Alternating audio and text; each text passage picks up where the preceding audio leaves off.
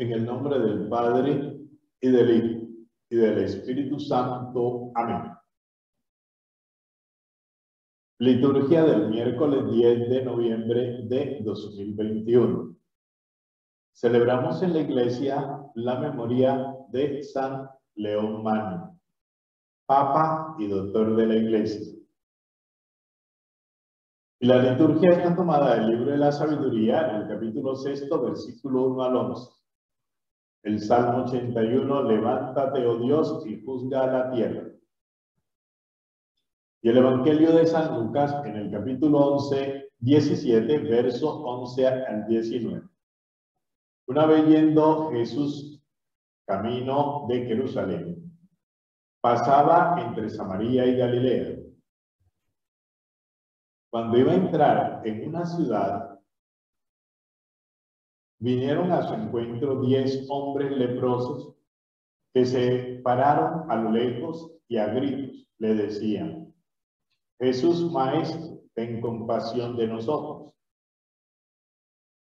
Al verlos les dijo, vayan a presentarse a los sacerdotes.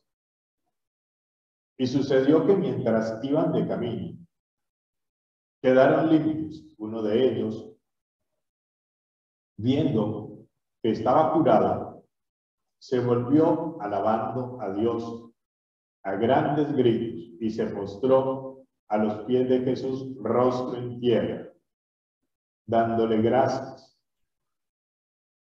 Este era un samaritano. Jesús tomó la palabra y dijo, ¿no han quedado limpios los diez? ¿Los otros nueve dónde están? ¿No ha venido, no ha sido más este samaritano, quien volviera a dar gracias a Dios, este extranjero, y le dijo, levántate, vete, tu fe te ha salvado. Palabra del Señor. Gloria a ti, Señor Jesús. Celebramos a este gran Papa y doctor de la Iglesia.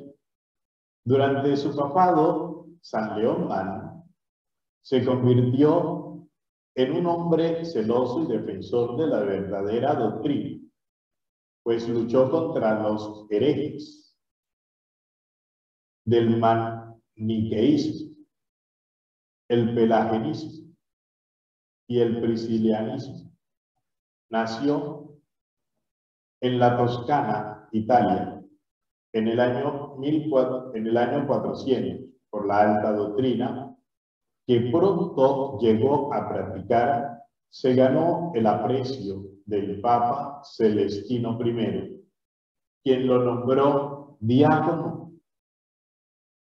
Gozó de gran estima entre los prelados y entre el pueblo, tanto que San Cirilo de Alejandría le escribía directamente a él y el monje eremita Juan Casiano le dedicó sus obras, sus famosas conferencias.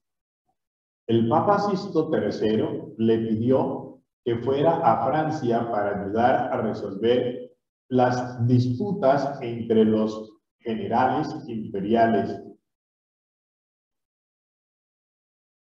Aesio y Albino. Mientras León cumplía esta misión, el sumo pontífice murió y una embajada fue enviada para notificarle que había sido elegido su sucesor. Organizó el concilio de Calcedón en el año 451, en el que se rechazaron la doctrina del monofisismo y las ideas del Nestorio sus habilidades para conciliar y para dialogar fueron fundamentales durante las invasiones de los bárbaros, cuando Atila, rey de los hunos, se disponía a manchar sobre Roma, a marchar sobre Roma. El Papa fue a su encuentro y lo convenció de retirarse. Asimismo, cuando el rey del pueblo del pueblo banda, Genserico. Saqueó Roma, el Papa con su elocuencia consiguió que se respetara la vida de la población y que no se incendiara la ciudad. Todos estos actos sumados a su sabiduría y a su humildad hicieron que se ganara el título de Pontificis Maximus y el apodo de Man, Grande. Murió en el año 461 en Roma. Vea pues, San León Man, y fue papa y doctor de la iglesia. Y, oiga, cosa tremenda, lo, nombraron papa siendo diácono. Así que diácono, no pierdan la esperanza, no perdamos la esperanza los sacerdotes tampoco.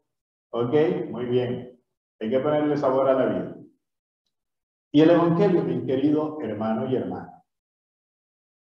En este Evangelio, allí vemos la acción de gracias que nosotros debemos dar a Dios cada día por todo lo que Él nos concede, por todo lo que Él nos da, por todo lo que Él nos ofrece, ante todo por la vida. Que nosotros seamos generosos con Dios y al ser generosos con Él, podamos decirle a Él que queremos estar y vivir con Él y permanecer en Él. Mis queridos hermanos y hermanas, mire lo que nos ofrece y nos dice esta palabra. Nosotros solemos pedir y pedir y pedir y pedir y pedir, pero nos falta ser agradecidos, dar gracias. Diez leprosos y de los diez solamente uno se volvió a alabar, bendecir y glorificar el nombre del Señor y darle gracias a Él por lo que Él había hecho, porque lo había sanado. ¿Cuántas veces Dios te ha sanado? Nos ha sanado. Y nosotros hemos cumplido con el deber de darle gracias a Él. Que Dios Todopoderoso nos conceda a nosotros la intercesión de San León Mano para que nuestros hermanos enfermos puedan volver a nuestra comunidad eclesial llenos de vida y, revitalizados, y que su Santo Espíritu permanezca en nosotros, y sean sanados de todas sus dolencias y enfermedades, y de todos aquellos, mis queridos hermanos y hermanas, de todos aquellos que caminan en la voluntad de Dios Padre, que hoy tú le estás regalando un año más de vida, te pido, Padre, que tú los bendigas, que los acompañe, los protege y los libre de todo mal y peligro.